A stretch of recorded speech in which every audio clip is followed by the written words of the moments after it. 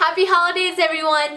In this video, I will show you how to do a soft golden smoky eye with a red lip today. If you want to see how to do this whole makeup look, keep on watching.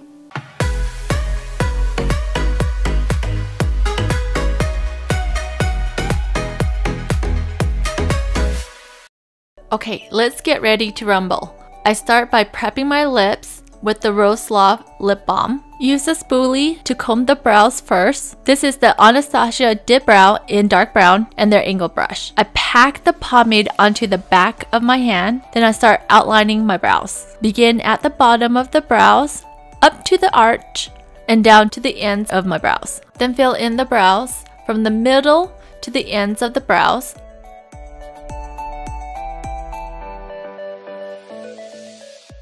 The initial line, push up the product up into the brows, then use the spoolie to blend. I mark where the front of my brow starts, turn my brush sideways, then I softly connect my brows. Don't use a lot of pressure here. Finally, I lightly draw the top of my brows. Almost done with the brows. Grab a little bit more product and add it from the middle to the ends of the brow to make it darker. This part is optional. I like doing this to make it look more ombre.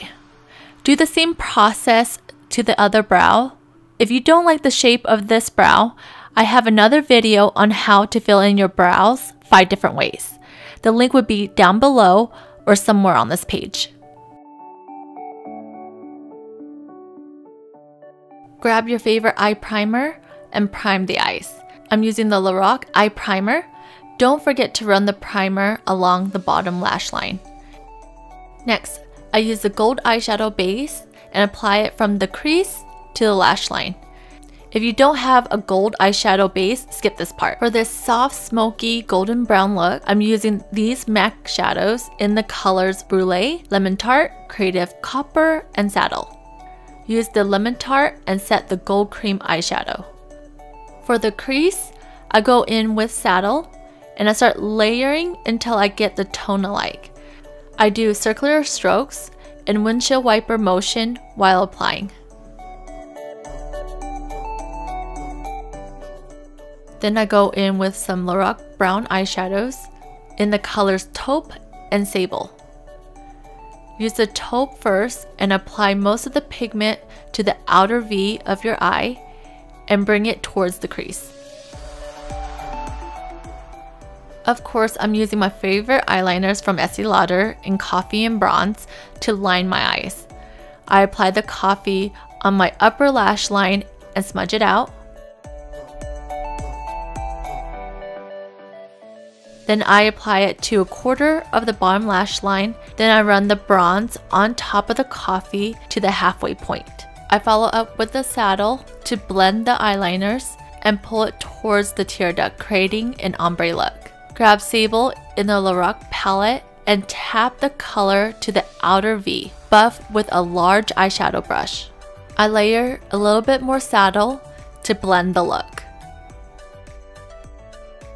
Next, take a gold eyeshadow and apply it to the top of the lemon tart to pop out the eyes.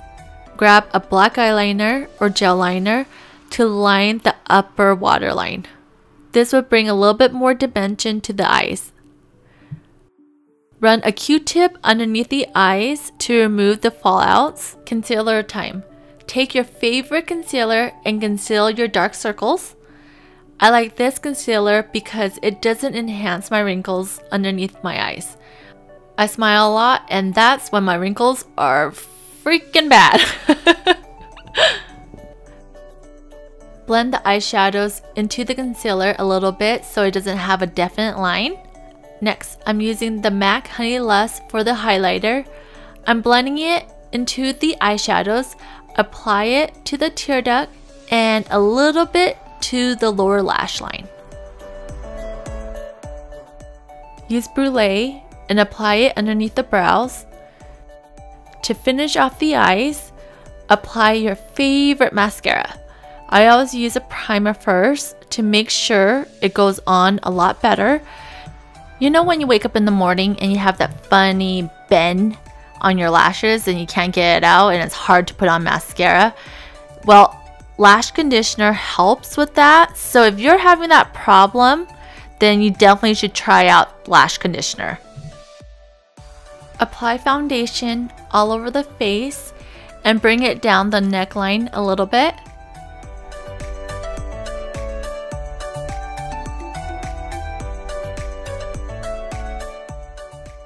I'm using a liquid bronzer to add to this look. Apply it to the shadows of the face. Use your brush and start tapping to blend it out.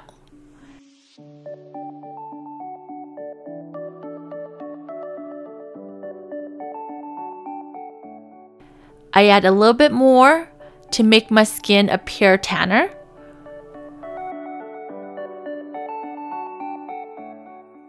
I grab a flush cream color blush and apply it to the apples of the cheeks.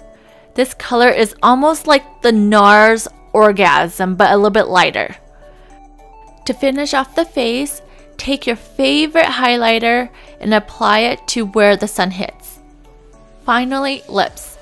Use the best looking red lipstick that you can find that matches your skin tone. Line the lips first so your lipstick doesn't bleed. I fill in the lips a little bit on the outer corners as well. Apply lipstick. Then use a red gloss to complete the look. Now we are done.